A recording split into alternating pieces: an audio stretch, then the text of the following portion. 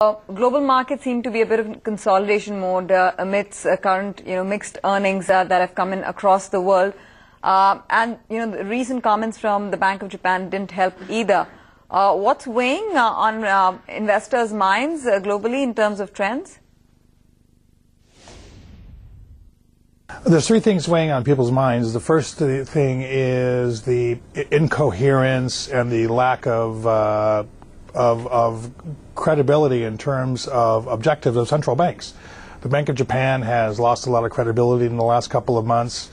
Uh, the Federal Reserve has done a huge U-turn from December to the end of February and, and is not clear on what its objectives are and the ECB is, is keeps on promising to buy corporate bonds, and yet we don't see any uh, any, any, clarity there. The only central bank that has um, a lot of credibility still is the Bank of England. The second thing is the bank earnings. The the banks have been producing a set of earnings which are pretty troubling, and so essentially we're seeing. Um, falling revenues, falling, you know, pre-provisioning operating profit, falling net income uh, at a time when we're supposed to be having some sort of recovery here, and so this is uh, alarming. The uh, third thing is uh, the issue of overall liquidity. Um, the liquidity, you know, that we see is uh, generally falling. Uh, banks are not providing liquidity to the markets. Um, the regulatory restrictions on banks are causing them to have to pull back. And so more and more people are being fired, more and more divisions are being shuttered, more and more parts of the bank are being um, either clipped or, or shut down. And so there's less and less activity in the markets. And so all this together is producing a lot of uh, increased risk.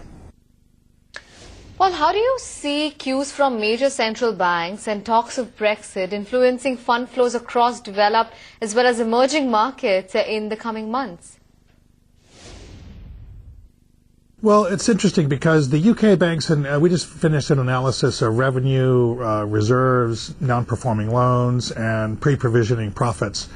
And the one uh, banking system in the world which um, has the steepest fall in revenues are the UK banks. The one system which has some of the highest NPLs, the UK banks. The one system which has some of the lowest reserves for future problems, the UK banks. So if the uh, if the UK votes to exit uh, from the European Union, I think this is problematic for the UK banks because uh, they're going to be have to be un, they're going to have to unglue themselves from a lot of their operations in Europe, and so I, I think it will be a very negative event uh, for for uh, the UK financial system. Well, yes, indeed. Okay.